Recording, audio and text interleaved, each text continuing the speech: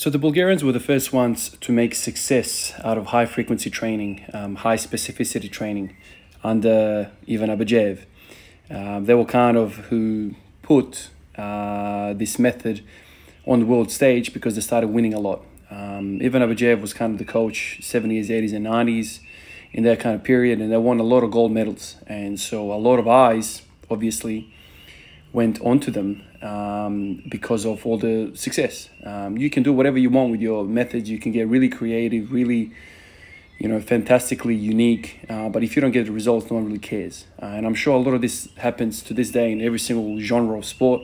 People try and reinvent the wheel. People try and come up with something sexy and really interesting, but they don't have the results, and no one really cares. It's only until you get the results that people try to kind of pay attention. Um, and a lot of people I've, I've, I've heard, um, even last night, people were saying, but dude, uh, they're on drugs. My response always to this is, who wasn't on drugs? Um, my assumption has always been all the top level are on drugs. So that thing is out of the, the, the equation. That's not the question anymore. Um, so now we're talking about what else is unique about these people winning. The program. Just because somebody's on the program and taking drugs doesn't mean the program is bad.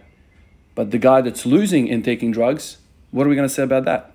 So for me, the drug story is always a weak argument for me because everyone's on drugs, man. Every single person on drugs. We just saw the American powerlifting team they got banned or something like that. I don't even want to read into it because it's always the same damn story. Oh, it wasn't me, it wasn't me. This is unfair. This is unfair. But everyone everywhere seems to be on drugs. And so from my point of view, I'm like, okay, that's the norm. Take drugs if you want to take drugs. Whatever, up to you. I'm not going to take drugs. Um, but I don't like hearing that argument. Um, oh, the Bulgarians won all those medals because they took drugs. I'm pretty sure somebody somewhere else in the world took drugs with their crappy uh, methods, and no one really cared. Um, but one of the one of the things that to me is interesting is the, the where is the origin of this high frequency training? Obviously, they made it popular, but there was a guy I read about um, who lived sort of like way, way before uh, this program came to through the Bulgarian method. A fellow by the name of Bob Peoples. I encourage you guys to Google him and read about him. His name is Bob Peoples. Um, he was some farmer uh, in America, just not even that special. He was just a farmer, right? He wasn't an athlete like the Bulgarians were, training eight hours a day. This fella, um, deadlifted something like 730 pounds, 720 pounds at 181 pound body weight. Um, and I think he also did it with double overhand grip, which is the most incredible thing I've ever heard in my life. I, um, he must have humongous hands, um, and his grip must be insane. So this fellow was a farmer. Um, the story goes he would go work as a farmer, right? He's not a sponsored athlete posting on Instagram and freaking TikTok every day to make a living. Um, so this dude was just going about his farmer farmer life, and then every day, uh, it wasn't. I don't think it was kind of like every single day, do or die. It was most days of the week, so up to seven days, obviously, but sometimes as low as four. Still, four days a week of, of deadlifting is very unique, um, even for that time, even for, for today's uh, period. It's very, very unique for somebody who has such a high uh, lifting frequency, especially with the deadlift. The one lift that puts us all to shame when, when it comes to recovery and fatigue. So this fella will go to his basement. You have to remember that he didn't have these fancy plates and bars and you know ball bearing collars and all this sort of stuff. He just had a freaking bar. You can just imagine the quality of stuff now in the 1950s, 1940s. So he just basically went in his basement, get all these mismatched iron plates, put them on, and lift. Um, and so he would work up to a single every single day, my understanding is. Um, and then sometimes, depending on how he felt, he would do back offsets. Um, but all of this stuff was done in a unique fashion where he had unique, um, very, very unique technique. So apparently he didn't care about his lumbar flexion. So he even encouraged lower back rounding. Um, he also didn't like taking big air into his belly. So he would blow out the air, round over, double overhand grip, 700 pounds. Now, I don't know about you guys, but that is damn impressive. And the fact that he was living where he was living and who he was and how he lived his life, I'm pretty confident to say that he wasn't on drugs. 1950s. So he, you know, so he, I think, pulled 1949. He pulled that 720 in front of a whole bunch of people because you know people started um, paying attention to his strength and whatever. And so there was a picture of him kind of like on this little stage, a whole bunch of people around. So that was in, in 1949. So he would have been training like, say, I don't know, 15, 20 years before that. So we're talking 1930s. Um, I don't think the drugs were around there, especially accessibility to this stuff. So he didn't have the access to drugs. He double overhand gripped. He blew the air out of his lungs, and he pulled 700. Um, this makes me want to believe that my love hate relationship with the deadlift over the, over my time on, on this platform, over my time training, there is a light at the end of the tunnel. I just have to get through this um, fog, um, something that John Broz spoke about, something uh, that kind of Max Aita uh, spoke about as well. When you first start the squat every day, it's, it's miserable, um, but it's probably even more miserable with deadlift every day. So you need to be very, very careful about your volume. You need to be very careful about your emotional uh, arousal level. Um, you need to kind of lift calm and do all those things that I always talk about with the squat every day when you first start that. Um, you need to just basically give your time, give your biology time to get over this new thing. Um, what I'm doing is squat every day and deadlift every day. So this is maybe a unique thing that I don't think Bob Peoples squatted. Um, I'm not sure he might have. Uh, but you have to remember back then probably they didn't have squat racks and all this sort of stuff. Um, I'm not sure about all that, but I would say he probably didn't squat. So he was just a, a deadlift deadlift beast. Um, so when you're doing both of those things, you need to be mindful of both of those kind of fatigue curves. Um, this morning I came in once again with the with the aim of hitting 180 for for five singles, and I managed to do that this morning. Um, but the whole time I'm like, okay, no assumptions no goals, come in, work up, and see what the body tells you. Don't try and push the case. Don't put, don't try to push the agenda. Whatever the body says goes. So I kept saying that to myself. One 140 moved well. So then I went to 180. That kind of moved well. I was I was trying to be very very careful how I lowered the weight. So that was probably, you know, even more strain on my lower back and, and posterior chain because of that. Well, it's five o'clock in the morning. So if I start dropping the weights here, the whole freaking suburb will wake up. So um, this is why I'm not doing the kneeling kind of, um, you know, put the glutes on the map kind of uh, uh, approach to the bar because that will kind of bang and hit and whatever, make noise. Um, so then I just started doing this. Um, so my aim is to hit 180. 180 is around 70, 72% of my one rep max. I think 70% is a good single uh, to aim for each day. Um, once again, no assumptions. Whatever the body tells me, I'll do. Um, but it's certainly uh, encouraging, it's certainly uh, motivating, uh, inspiring to read about a guy like that, Bob Peoples, um, 181 pounds, man, doing what he did, 700 pounds. So for, for, for me, I think 700 pounds, the, the units that I use, kilos, I think that's around 320, 330 kilos or something like that. That is astonishing, man. Now the fella, when I look at his the pictures of, of you know of, of him deadlifting, pulling, he does look like a fella that's built for the deadlift. He's got these, you know, uh, wonky all arms, uh, long long arms, um, but it doesn't matter. It doesn't excuse the fact that this fella was a laborer.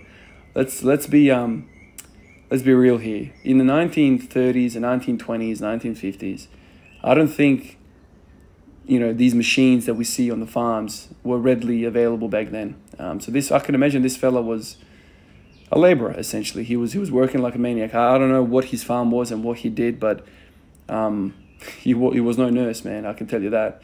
So if I can replace his laboring with the squatting, um, he did laboring every day and deadlift every day. Maybe I can do squatting every day and deadlift every day, and that's kind of the the trade off that we can have, but it, it's it's the hardest thing to do in, in, in life, I think, is to be a trailblazer, to be someone who's doing something different.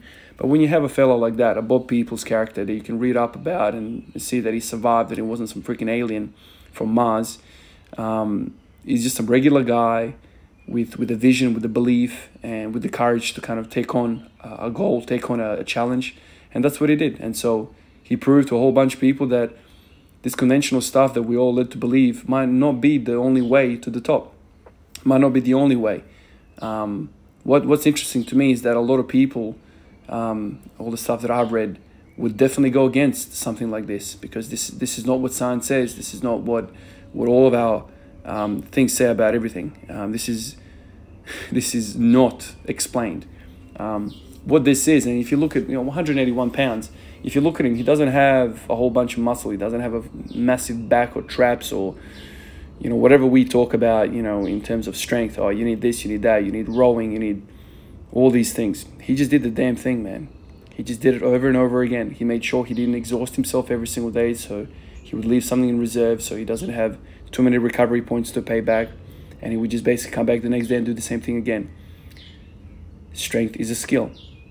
And when I read about these type of stories, all I ever think about is strength is a skill. Um, I remember um, growing up um, and hearing people talk about their sporting kind of um, sporting uh, stories and whatnot. And I remember I had a friend who uh, who played soccer, um, and you know we were talking about you know his position, what position he was playing, and whatnot. Um, he said that there was. I said, "Who's the striker? Like you know, if you got a good striker, does he make good leads and whatnot?" And he said, "Yeah, yeah, he's he's a really good striker." Um, and I said, "But he looks kind of small and stuff. Like you know, what's he good at? Like he's he's just really really quick and he just kind of like runs around defenders and taps it in." The first thing he said to me was that he's got an incredible kick on him. And I remember saying to him, uh, saying to him, he's got a really good kick on him. He looks like a like a little shrimp. You know, I would never say that somebody like that would have a really good kick on him. Skinny guy, very very skinny, scrawny little kid. Um, and the first thing that somebody who plays with him said that he's got he's got a really powerful kick. And so at that time I was like, that makes no sense. And he said, man, when he would you give him a bit of space and winds it, when he winds that thing up and he hits it, it's like a bullet. So I remember thinking about that back then and thinking, what, what is going on there? How can somebody that skinny and not strong looking produce so much force? Now, after all these years, I know that this is just a skill. Strength is a skill. Power is a skill. If you can teach your body to move efficiently through space, if you can teach your leg to swing at a specific time and hit the ball in a specific spot, you produce strength and power and, and, and speed. Um, just like Bob Peoples, man. He, you, would, you, you would walk past him in the shopping center and think nothing of it. You would never think that this guy looking like that. I mean, I, I walk past hundreds of these people every single day. I would never think 700 pound deadlifter, 700 pound deadlifter. Um, there's something about this of training. It, it is mostly nervous system training. It is teaching your body how to fire those motor neuron, uh, motor neurons in a, in, a, in a specific way to produce the most amount of power. That's what this is. This is what squat every day is. A lot of people tell me, but you're not building muscle. You look like you don't lift. It's like telling, it's like telling Michael Schumacher, man, you train every single day. You don't look like you train. He's a freaking Formula One driver, man. I, I get, I get where people are coming from. I'm not bodybuilding. I'm not interested in looking big and, and juicy and whatever else. All I want to do is get strong. All I want to do is get plates on that bar. I don't care how I look. The smaller I look, the better it is for my health, for my for my how I feel, um, I've always said it. Every time I put on a bunch of uh, a few kilos, I feel it, man.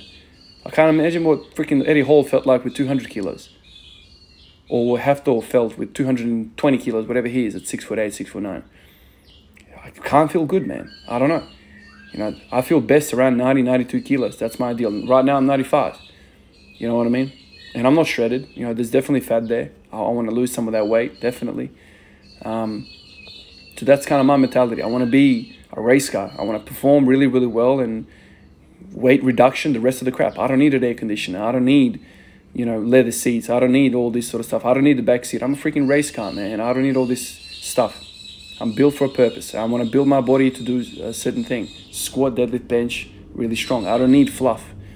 Um, when I look at a guy like Bob, Pe Bob Peoples, I'm like, that's exactly what this dude would have said as well. I don't, I don't, I don't think this guy would have been like looking at, I don't know, who, who was around back then. I don't know if Reg Park was back then. I don't even know who, who, what, who, or the bodybuilders was, was, was it back then.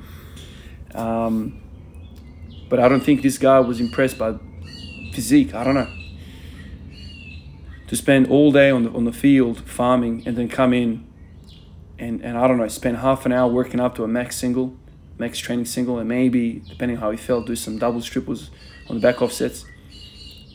Man, I don't know about you guys, but that, that to me is so damn impressive. So impressive. That's exactly what I want to do with my training. Um, the trick for me is balancing. balance, balance, balance. I spoke yesterday about how the Bulgarians must have had more pulling to pushing ratio. Um, this morning, squatting felt good. I worked up to 180. You'll see that coming up. Um, felt good. Uh, I've got a whole bunch of fatigue in the system right now. Um, 200 doesn't look like it's possible because of this fatigue. And I, I, basically do these tests every single day to see what my body's capable of and I can track it. Um, my body's tired. My body's tired, but that's okay. Next week or two, I'm allowing this this introductory period, into introduction period, into this whole new type of living. Um, let's see how it goes. Let's see how it pans out. Um, one of you guys actually commented on one of my old old videos. Um, it's also titled squat every day. I think it's like 240, 250, something like that. And in bold letters, I wrote deadlift every day. I watched that video because one of the guys commented on it. One of you guys commented, and I, I watched it. I was like, wow, like that's where the seed was planted. That's where this first idea crossed my mind. And I, I watched the video, and I basically opened up the video by saying that I want to do, I think it was three sets of 10 with 60 kilos every single day. Um, I don't have time right now. I'm about to go to work, but when I get back home tonight, I'm going to try and watch the videos around that period to see how many days I actually managed to do that. But the assumption was balancing out the hip girdle. That's what I was saying back then. Um, right now, I'm not doing volume. I'm doing basically high intensity deadlifting with high intensity squatting. Um, and so my my thoughts, my um, my thinking has evolved since then. That was kind of the planting of the seed, and it's funny how 400 days on, um, this this seed has blossomed into another little idea. And um, this is what I say to you guys all the time: you can read the same book five, six times, and you learn something every time. So there's a lot of repeating stuff in my mind, but each time I, I get something out of it. So here we go, deadlift every day. Um, that's how it pans out. I'm thinking about Bob Peoples. I'm thinking about Ivan Abadjiev and the and the boys from the Bulgarian weightlifting team. Um, let's work this out. I'll catch you guys in the next one. Peace out.